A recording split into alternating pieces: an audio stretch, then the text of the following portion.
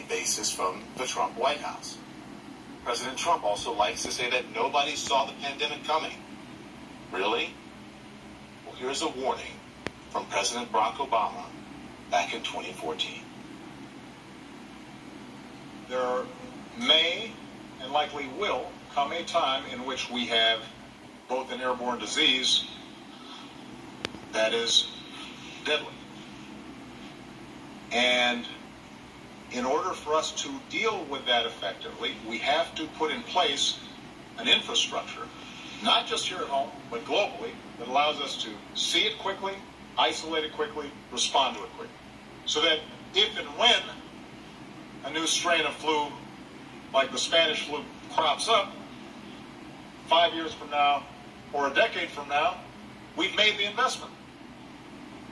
And we're further along to be able to catch it. And guess what? The former president was not politicizing the possibility of a pandemic on the horizon. He was sending a message to Congress at the time that a deadly pandemic is not a partisan issue.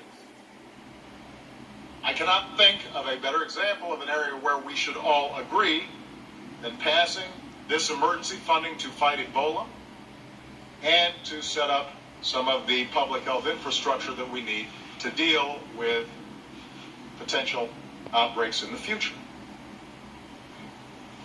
How do you argue with that? That is not a partisan issue. That is a basic common sense issue that all Americans can agree on. For the most part, people have recognized this is not a Democratic issue or a Republican issue. It's about the safety and security of the American people. So let's get it done. This can't get caught up in uh, normal politics. We need to protect the American people, and we need to show the world how America leads. He said five years in that speech.